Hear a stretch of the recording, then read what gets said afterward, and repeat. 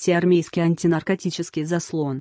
Всеармейский антинаркотический заслон автор Александр Тихонов, Красная звезда. 23 января 2015 года 18.42.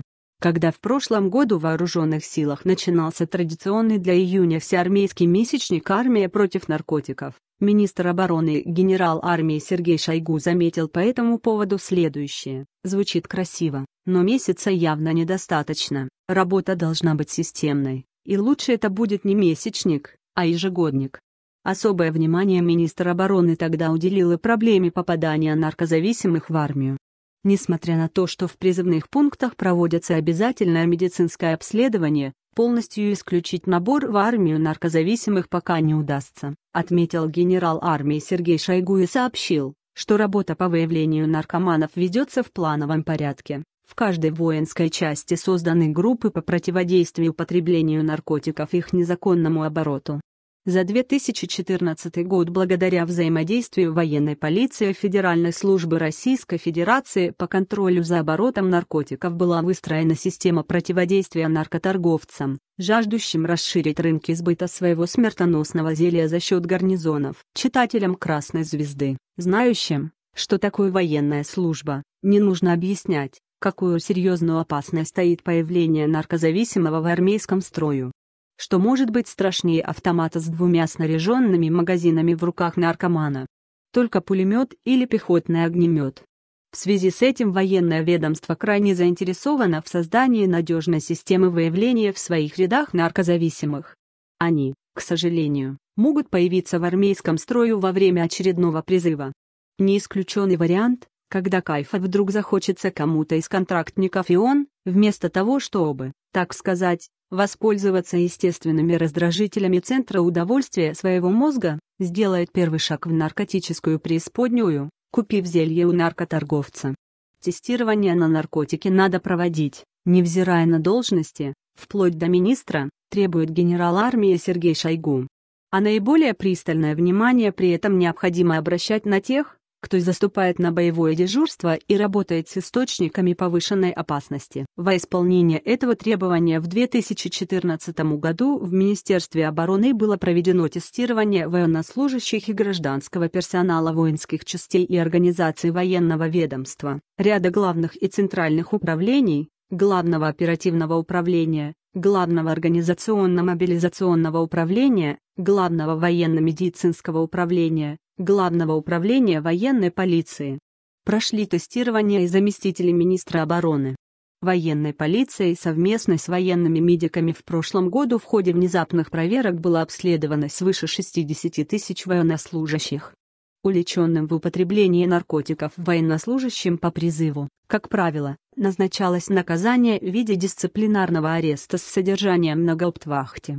А замеченных в этом контрактников увольняли из вооруженных сил. Министр обороны обращает внимание на то, сколь важно изменить отношение командиров к существующей проблеме, добиться того, чтобы они не скрывали факты употребления наркотиков подчиненными. Если подобные случаи будут утаиваться, необходимо принимать соответствующие кадровые решения и привлекать командиров к ответственности, вплоть до уголовной, требует генерал армии Сергей Шойгу. В перечне мер, направленных на предотвращение попадания наркотиков в воинские части, особое место занимает профилактика.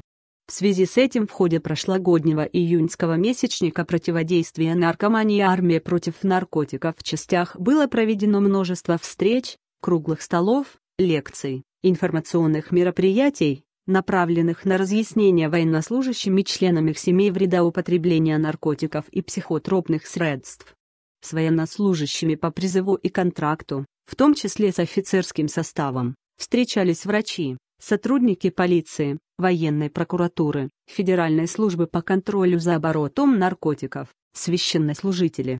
На встречах речь шла о трагических последствиях наркомании и мерах профилактики этого явления в армейской среде, в военных городках среди членов семей военнослужащих, демонстрировались антинаркотические фильмы, проводились видеолектории, тем временем наркомафия продолжала попытки организации сбыта отравы на территории военных городков или вблизи них. Учитывая стабильные доходы военнослужащих, Ситуация требовала объединения усилий госнаркоконтроля и Минобороны, для того чтобы на пути наркотиков в воинские части возвести непреодолимую преграду. В июне 2014 года министр обороны и генерал армии Сергей Шойгу и директор ФСКН Виктор Иванов подписали протокол о взаимодействии ФСКН и Минобороны по вопросам проведения совместных мероприятий на территориях воинских частей и организаций вооруженных сил РФ. Этот документ предусматривает основные направления противодействия потреблению военнослужащими наркотических средств и пересечения каналов поставки наркотиков в воинские части. Проведение совместных с ФСКН мероприятий возлагается на военную полицию. Взаимодействие структуры ФСКН и военной полиции стало приносить результаты. 20 января сего года офицер Данковой части во Владимире майор Анатолий Дикарев был задержан за употребление и хранение наркотиков. Как сообщили в пресс-службе УФСК НРФ по Владимирской области, Дикарева задержали в его автомобиле аккурат в момент потребления дозы. В ходе осмотра машины сотрудники УФСКН обнаружили и изъяли шприцы со следами инъекций и один шприц, наполненный зельем. В поле зрения правоохранителя Дикарев находился с прошлого года. По версии следствия, офицер приобретал у неустановленных, пока, лиц наркотики и хранил их.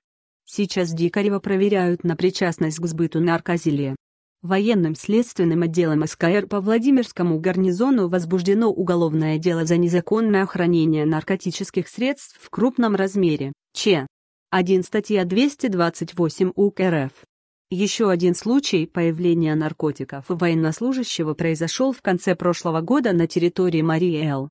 Сотрудники регионального управления ФСКН провели специальную операцию во время командно-штабного учения и обнаружили у одного из военнослужащих по призыву пакет спайса, который он прятал в носке.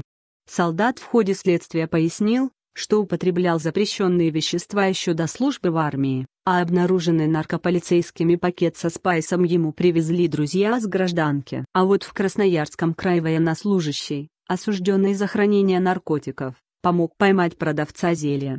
Ефрейтор Н. Приобрел в краевом центре 0,91 грамма наркотического вещества, после чего был задержан сотрудниками госнаркоконтроля, которые отслеживали и процесс покупки. После задержания военнослужащий согласился заключить со следствием соглашение о сотрудничестве и помог поймать продавца наркотиков, у которого приобретал товар. Учитывая это, судья назначил ефрейтору, признанному виновным в совершении преступления, предусмотренного Ч. 3 статья 30 Ч. 2 статья 228 УК РФ. Наказание в виде лишения свободы на срок 2 года условно с испытательным сроком 2 года.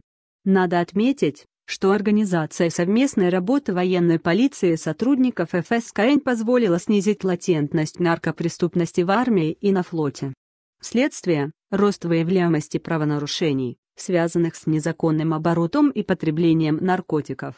По каждому факту таких правонарушений осуществляется обмен информацией с ФСКН с целью выявления каналов поставки наркотических веществ, то есть борьба даже с единичными случаями наркомании в армии и на флоте становится более эффективной, системной, как того и требует министр обороны. И вооруженные силы очищаются от этих негативных проявлений, дабы полностью исключить возможность появления человека с оружием в состоянии наркотического опьянения прочитано 51 раз.